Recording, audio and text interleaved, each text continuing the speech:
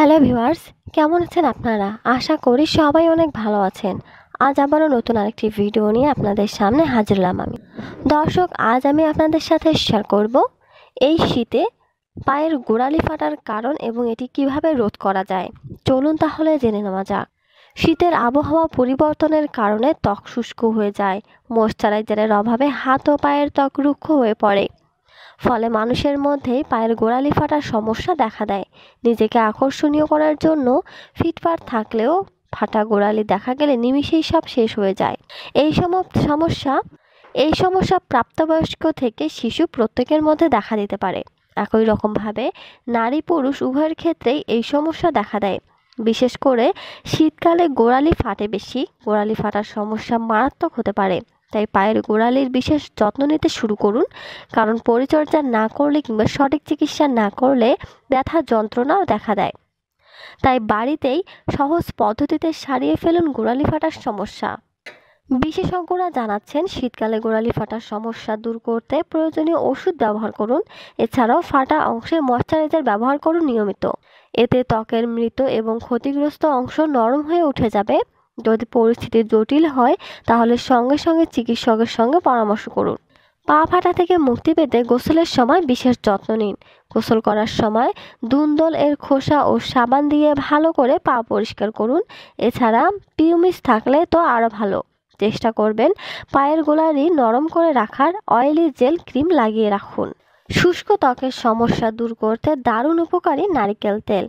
ত্বককে ময়শ্চারাইজার রাখতে সাহায্য করে। নিয়মিত গোড়ালিতে নারিকেল তেল ম্যাসেজ করুন।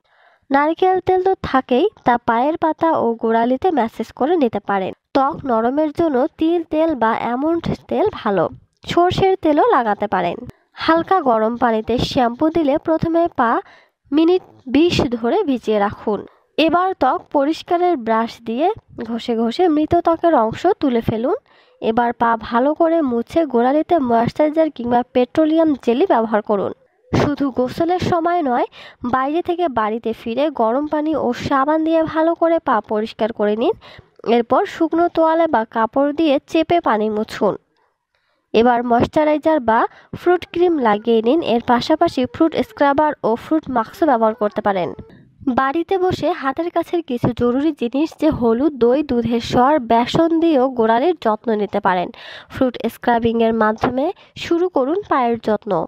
ত্বকের ক্ষতিগ্রস্ত অংশ সারিয়ে তুলতে দারুণ উপকারী মধু অ্যান্টি ব্যাকটেরিয়াল উপাদান হিসেবে এটি ব্যবহার করা হয়। শীতকালে নিয়মিত গোড়ালিতে যদি মধু ব্যবহার করেন, তাহলে গোড়ালি ফাটার সমস্যা প্রতিরোধ করা যাবে। শীতে ত্বক নরম রাখতে প্রয়োজন ময়শ্চার, পা ফাটা কমার সঙ্গে সঙ্গে পায়ের নতুন নরম ও মসৃণ হতে হবে। সুন্দর নরম গোড়ালিতের জন্য বাড়িতে বেসনের সঙ্গে দুধের স্বর মধু, হলুদ বাটা মিশিয়ে ঘন পেস্ট তৈরি করতে পারেন। গোড়ালিতে এই পেস্ট লাগিয়ে ভেজা হাত দিয়ে ঘষে ঘষে ধুয়ে ফেলুন। এর পাশাপাশি পাকা কলা ভালো করে চটকে নিয়ে এতে সামান্য নারিকেল তেল ও দুধের স্বর মিশিয়ে ঘন পেস্ট তৈরি করে গোড়ালিতে লাগান। দশ মিনিট পর পানি দিয়ে ধুয়ে ফেলুন। এছাড়া গোলাপ জল আর গ্লিসারিন মিশিয়েও লাগাতে পারেন। ফুড বাথ নেওয়ার পর অ্যালোভেরা জেল আর অলিভ অয়েলের একটা মিশ্রণ তৈরি করে পুরো পায়ে ভালো করে লাগিয়ে দিন। কয়েকটি ভিটামিন ই ক্যাপসুল ছিদ্র করে তেলটা বের করে নিন। তারপর পেট্রোলিয়াম জেলির সঙ্গে ভিটামিন ই মিশিয়ে সেটা পায়ে মেখে ফেলুন। রাতের দিকে এই প্রলেপটি লাগিয়ে মোজা পায়ে দিয়ে শুলে দারুণ নরম থাকবে পা। তো দর্শক, আপনারা জানতে পারলেন গোড়ালি ফাটার কারণ এবং এর প্রতিরোধ। তো দর্শক, এই ছিল আমাদের আজকের ভিডিও। ভিডিওটি ভালো লাগলে অবশ্যই একটি লাইক দিন এবং বন্ধুদের সাথে বেশি বেশি করে শেয়ার করুন। সবাই ভালো থাকবেন, সুস্থ থাকবেন। ধন্যবাদ সবাইকে।